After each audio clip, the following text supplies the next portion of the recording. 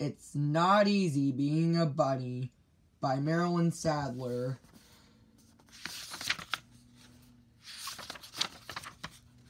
PJ Funny Bunny was very sad. He did not like being a bunny. His mother made him eat cooked carrots every day. He had far too many brothers and sisters, and his ears were very big. One day, PJ decided to leave home. I don't want to be a bunny anymore, said PJ. I want to be a bear. And PJ went to live with the bears. But when the bears went to sleep for the winter, PJ could not sleep at all. Living with the bears was not very exciting. So PJ said, I don't want to be a bear. I want to be a bird. And PJ went to live with the birds. PJ liked being a bird until he tried to fly. So PJ said, I don't want to be a bear or a bird.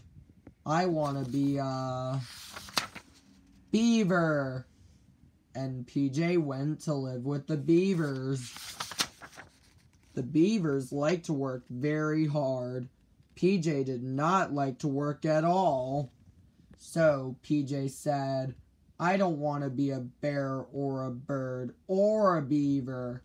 I want to be a pig. And PJ went to live with the pigs. But the only thing the pigs liked to do was sit in the mud. So PJ said, I don't want to be a bear or a bird or a beaver or a pig.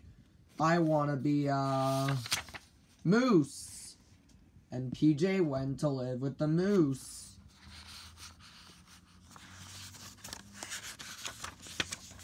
But PJ could not make good moose calls. So PJ said, I don't want to be a bear or a bird or a beaver or a pig or a moose. I want to be a possum. And PJ went to live with the possums. The possums like to hang upside down, but hanging upside down gave PJ a headache. So PJ said, I don't want to be a bear or a bird or a beaver or a pig or a moose or a possum. I want to be a skunk. And PJ went to live with the skunks.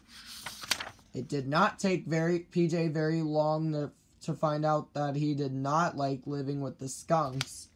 So PJ said, I don't want to be a bear or a bird or a beaver or a pig or a moose or a possum or, most of all, a skunk.